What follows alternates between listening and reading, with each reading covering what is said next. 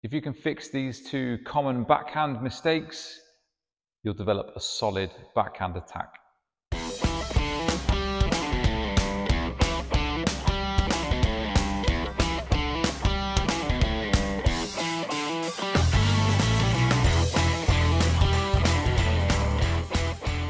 My name is Craig Bryant and today we're going to look at the backhand attack. We're going to look at the drive and the backhand topspin and look at how to develop them. There's two common mistakes which are essential to be aware of and if one of these mistakes already exists in your shot then this is how you can try and correct it. And there's one absolutely crucial tip which I'll let you know later on which is key to finding the perfect timing for your backhand attack. So first of all, when we are using our backhand drive, really important that we find a posture that's effective, where the knees are bent, our weight is forward, and we're contacting the ball in front of the body. The bat angle is going to be more the back of the ball, okay, not completely neutral. It's going to have a slight tilt just over the top of the ball, and it's going to be quite a solid connection when we're working on that backhand drive.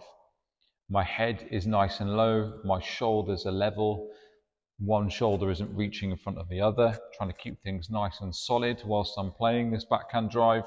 And then after each shot, there's just a little reshuffle on my legs just to make sure that I've got good balance and that I'm ready to make those little steps left, right, in or out if I need to.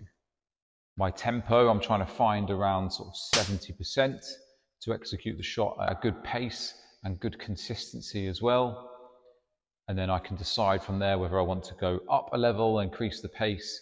Maybe I'm making too many mistakes, I might want to drop down to 60%. But trying to find that 70% level uh, is a good way to try and build that consistency in the shot. Really important that I'm just keeping a small bend in the elbow as I'm playing. That's going to give me control that allows me to use my forearm as well as my wrist. And that's going to allow me to control the ball much better.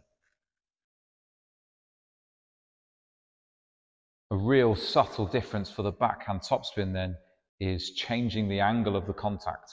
So for the drive, we were a little bit more behind the ball. This time we're going to tilt, so we're going to be hitting a little bit more at the top of the ball. We're going to use a little bit more wrist in the shot, and then that wrist and elbow are just going to snap and accelerate together on the point of contact. And that little zip of acceleration is what's going to produce the topspin that's going to make the ball dip. That's going to make the shot much safer. And it's also going to kick more at your opponent, give them more to deal with, potentially push them back further away from the table too.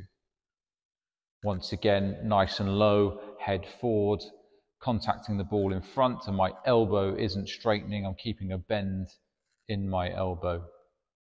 And if someone's playing with a little bit more of a flatter shot, then I'm going to come up the back of the ball slightly. If someone's playing with heavier topspin, then I'm going to come over the top of the ball a little bit more.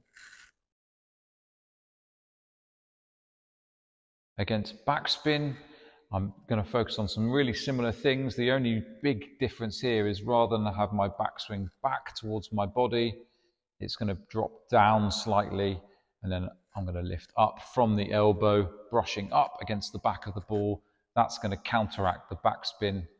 And important that I remember that I'm not just lifting up the back, that I'm lifting up the back and forwards. Yeah, I still want the ball to go towards my opponent, so not forgetting that forward element.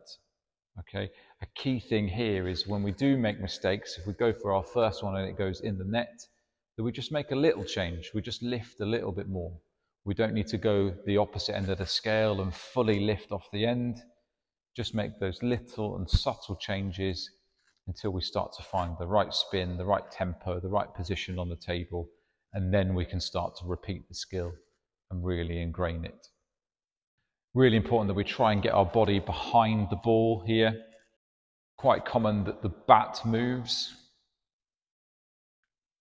Yeah, whereas if we're in a good position, we can lean and maybe cover a little bit more of the table. If I need to, then I can take a step to make that top spin. So the two common mistakes that I see are reaching for the ball. And when you reach for the ball and this elbow straightens, we're now relying on the wrist only to control the ball.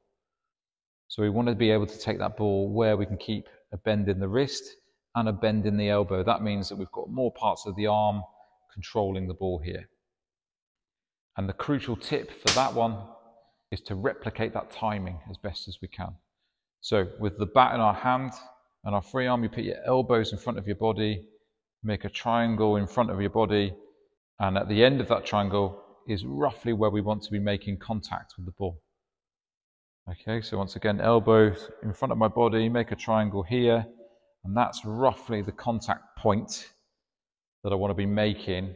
You can see there, I've got a bend in my wrist and in my elbow. Okay, that's going to give me a good amount of control.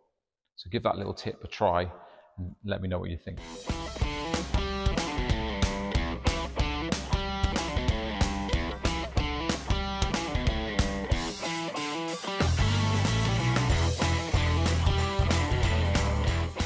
The other common error here is that the elbow moves. So rather than the elbow fixing yeah, and pivoting from this elbow, that's going to allow acceleration, speed, spin. Sometimes the elbow lifts, and now the shot comes more from the shoulder. And we're not going to be able to get quite as much spin or quality in the shot. So if this is happening, one thing we might want to do is exaggerate that and almost pin the elbow by our side, just so we're really exaggerating the use from the elbow. This isn't how we play the shot. I'm not suggesting that you play backhands like this, but it helps exaggerate the parts of the arm that you need to use. Then when we start to create a bit of a gap again, and we go back into the play, it's a little bit easier to try and fix the elbow again, and then the shot comes from here. Okay, so just trying to limit this elbow moving when we're playing. Okay, so that is the backhand attack. There's the drive, the top spin, top spin against backspin. There's a couple of little tips in there. Try the timing one out.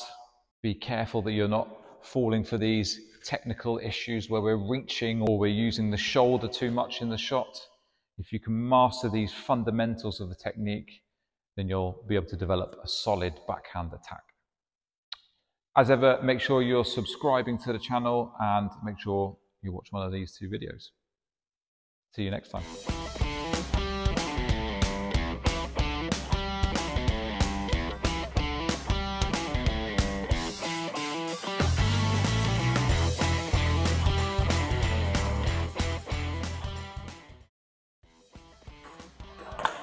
I'm quite stubborn with my timing here.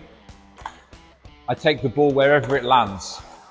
So if the ball's landing shallow, then I'll take it later. If the ball's landing deep, then I'll take it really early.